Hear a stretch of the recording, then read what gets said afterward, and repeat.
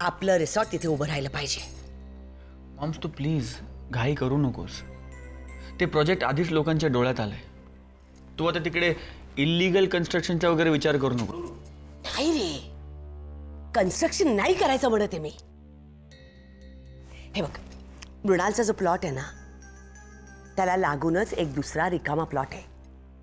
सुदैवाने तो पर्यटन विभागाच्या ताब्यात आहे. त्या जागेवर एक फाईव्ह स्टार हॉटेल उभं करण्याचा स्टेट गव्हर्नमेंटचा विचार आहे. म्हणून टुरिझम डिपार्टमेंट त्या प्लॉटचं ऑक्शन करतंय.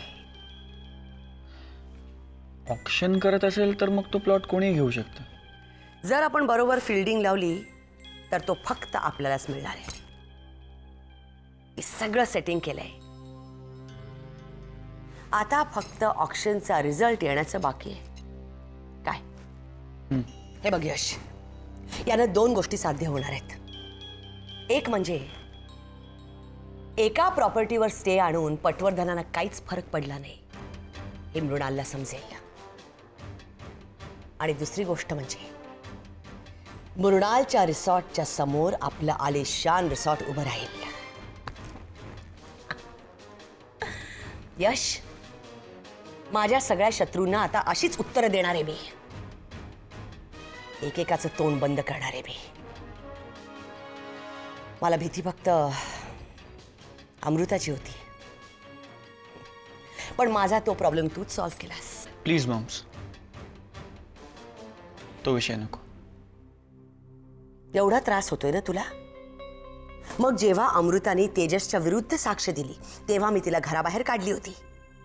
तेव्हा का अडवलंस मला यश? कारण त्यावेळेला मला बऱ्याच गोष्टी माहिती नव्हत्या. जाऊ दे. बेटर लेट देन नेव्हर आता अमृताचं खरं रूप तुला समजलंय. हे काय कमी आहे? बस. आता एकदा का तुम्हा दोघांचा डिवोर्स झाला की मग मी तुझ्यासाठी एखादी चांगली मुलगी बघेन. तरी तुझं नशीब चांगलं आहे यश.